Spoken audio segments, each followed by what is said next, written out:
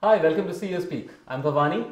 Last 10 years, we've seen the full cycle of entrepreneurship from VCs pumping in blind money to the dreaded in e-commerce giants and to the cash churning unicorns. Today, my guest is a gentleman who's inverted the Murphy's Law. He started not one but four bootstrapped ventures, and not one failed, by the way. He's a technical powerhouse, a CEO, and an investor. I'm in conversation with Vijay Gupta, CEO of Think Future Technologies, and the man behind AuthorisedDealer.com, which is the world's first and only authorized dealer network. Vijay, thanks for coming. Such a pleasure to have you here. Uh, I've known you for a while now, but uh, I don't think anybody knows Vijay between IIT Kanpur and Concept Software. So, so what happened there? So Bhawani, uh, thanks for having me with you in this show. Uh, yeah, that's uh, um, I, I, graduated in '85 from IIT Kanpur, and then I did two jobs initially. One Right. with Uptron in Lucknow, other one C Dot in Delhi. Oh. And I think the real transformational one was uh, Rabba Quantel. So Rabba Quantel was an authorized distributor of uh, Apple in India at that point of time. This is '87, and that's where we had this ecosystem. So, what were you selling at Rava? They did not have phones or something. Yes, What- so what- so Apple computer was fast turning out to be a desktop publishing did unit. it have a market that time? Oh India? yes. Yeah. So all desktop publishing, you know, newspapers, books, they were being published using Apple systems, Wow. right? I mean, app, uh, they brought down the cost by uh, almost a magnitude, you know, one tenth of what was there before Apple systems. Hmm. So with Apple system, we had this chance to bring in all the regional languages, Indian languages, Hmm. on the Apple platform. Rabakondal didn't have any technical history, Right. so we we three people who joined them Hmm. had the so you were a four people team. Yes, we just had the complete uh, ecosystem with us. Say, do what you want to do. You go ahead, make products for the Indian market. Right. Just make sure that they. So were you work out. selling as well then, or you were only? We are only doing development, Okay. but because of the the, the quality of the Apple systems, Hmm. uh, the user acquisition was never a problem. The Okay. custom acquisition was never a problem Okay. because by default everybody knew them to be DTP systems. Right. And with our plugins and with our software for Indian languages, uh, it afforded the users here, the customers here, uh, quality uh, desktop output, they, which they couldn't get from uh, any other system.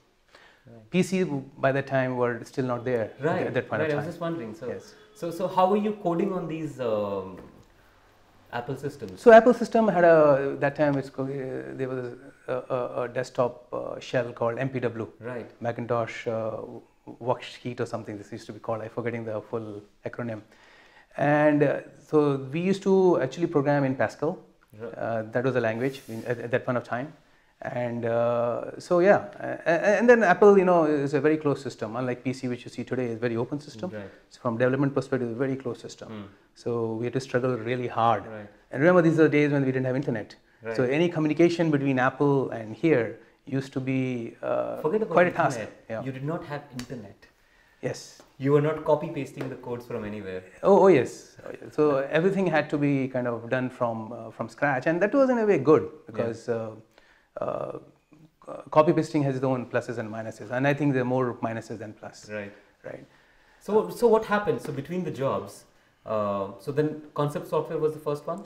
Yes. So 1991 is a uh, was the year when my, my, Microsoft came up with the first usable graphical user interface based Hmm. PC system. Till then, that point of time, it was all DOS. Hmm. And so once we had this uh, GUI-based system, which we now know as Windows, that's when we thought that what we are doing for Apple could easily be migrated and transplanted to Windows platform. Wow. Okay. And when you said we, Hmm. uh, two people from the from the Rubber uh, team, me and RP Singh, so we both kind of uh, Hmm. so RP was also a classmate.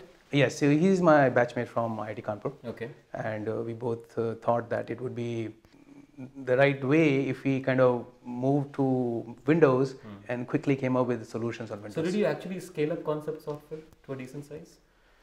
Uh, so So as this was 92. this was 92 and so when we started we so had you a, were a two-people team. yes And then five, ten years, what did it become? so if you say in terms of number i think in 2000 we were around 20 people team Hmm. But i think for a product company even at that point of time 20 people team as a software product was a sizable number team. was a sizable number Yeah. especially if you are 20 there were almost 14 or 15 engineers Right. so it was quite a sizable team from a Right. product perspective Right. So Vijay, every entrepreneur goes through this uh, phase of lowness and a self-rejection phase, I would say. 25 years, four ventures. Has there been a moment of where you felt that you hit the rock bottom and um, wanted to give up everything and go back? Was what was your turnaround moment? Well, I never, there was no such moment. I never had the rock bottom moment at my own personal level, Wow. but yes, from family perspective, there has been such moments, and I distinctly remember one moment. Hmm. This was late '94, Hmm. so we were still developing the product. We had it 99% complete, but the last 1% was taking time, as is the case. Uh, and we didn't have money to buy even milk. My daughter was four years old, and Shreya. Shreya, and my wife. We had to borrow money from the dhobi. You know, there's a dhobi in all these colonies who, Oh, who irons the clothes. so we borrowed 10 rupees from him and got the milk. So yes, you can call that rock bottom. But the family had been very supportive, and even that day, she didn't turn around and say, "Hey, leave this and go back to job." She said, "No, this this is fine. It'll take some time. We understand." So Vijay, I'm aware that uh, TFT is a full stack IT services firm, but is there anything, a couple of things that you guys do exceptionally well? Yeah, I would say uh, we started with the testing. Uh, so when we started in 2006, 2007, Right, we focused on testing, right, end-to-end testing services to customers, and still date that seems to be our forte, and that, that remains our forte. What kind of testing? So this is software applications testing. Hmm. So a typical problem uh, product developers all over the world have, they have a good idea, they execute on it, but they do not know how to take it out to the market. In a so when I say take it out to the market, I'm not meaning the marketing sense. I'm saying a well-tested product that focuses on the users who are going to use them and ensures that the users when they use them, they're not So it's not crashing surprised. out. It's not, yeah. So they don't get surprised with Right. the crashes and all.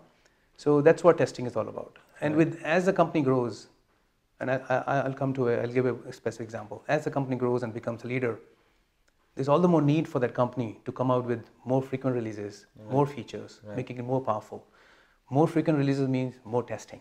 Right, Now, there was a client of ours called Match.com. In 2008, we, Hmm. We started doing, Match.com, yeah. yeah. So Match.com is an online dating service, right, the biggest, the, the leader in US. yeah, So we started with simple testing, manual testing.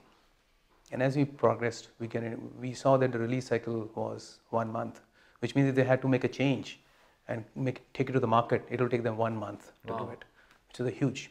yeah. So we automated testing. So re- you you actually reduce their time to market with the new the new with the new process and the new automation process. Hundred percent foolproof that it's not going to uh, fail when it reaches the market. Absolutely, tomorrow. absolutely. The typical problem is when you add new features, Right. those features work, but the old features stop working. I The- see. and that's what is called regression testing. Hmm.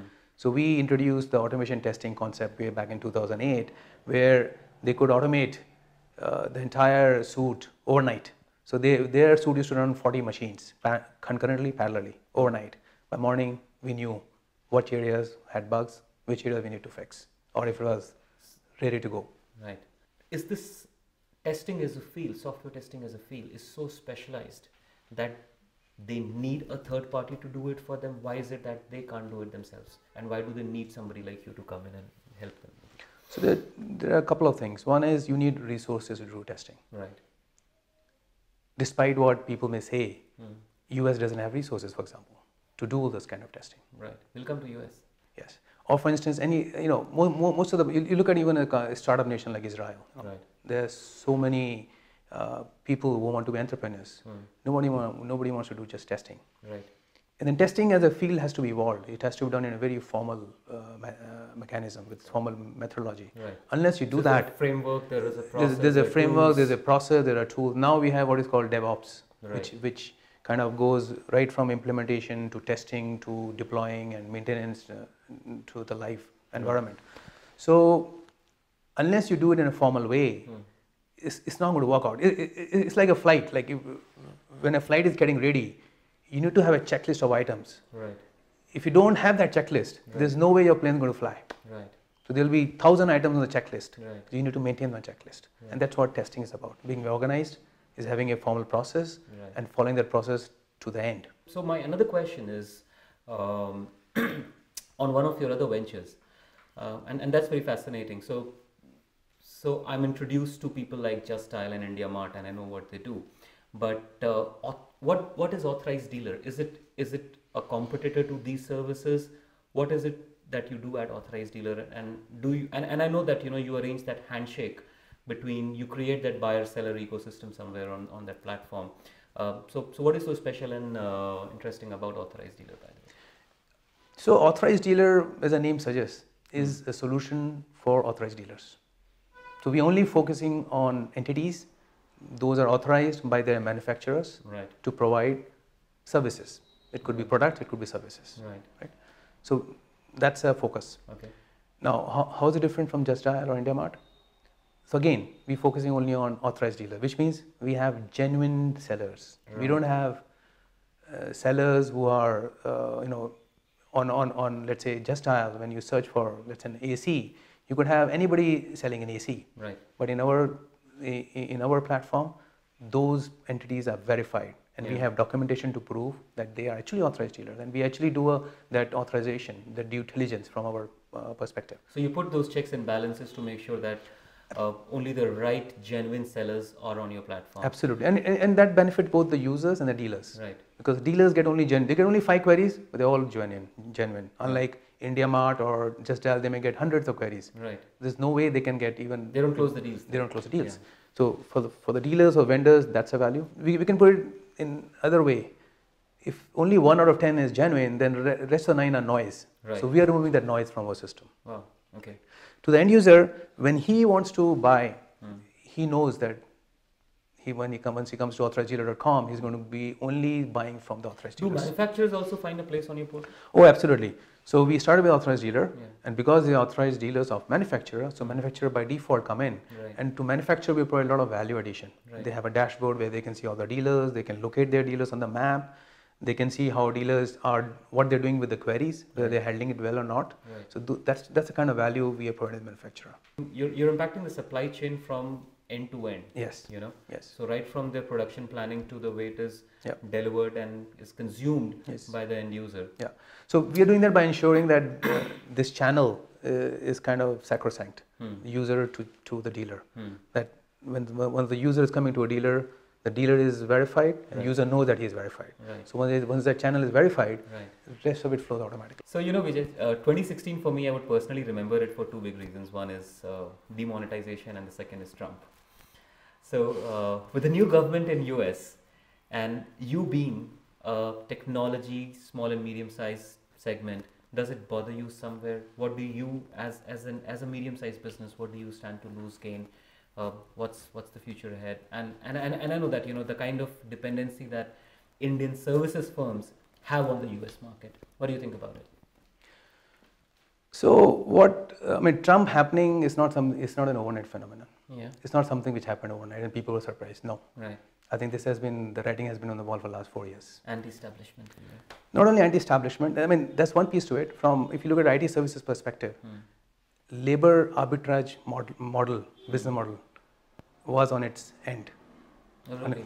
It was not going to uh, survive uh, this decade. No way. Hmm. I mean, so all the big ones, the, the, the big companies here, made money on labor arbitrage by sending people on lower cost. Right. That model was anyway changing. Hmm.